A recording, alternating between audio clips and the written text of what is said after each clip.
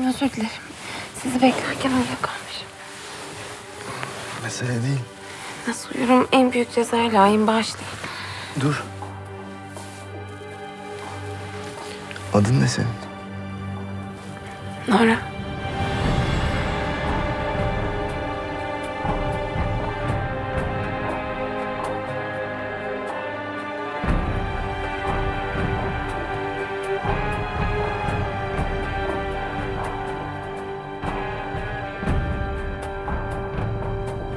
O gün hiç çıkmıyor aklımdan.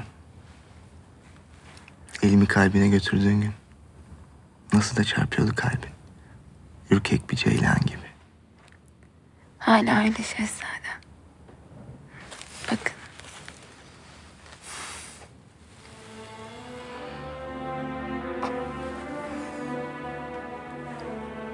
Hadi kalk.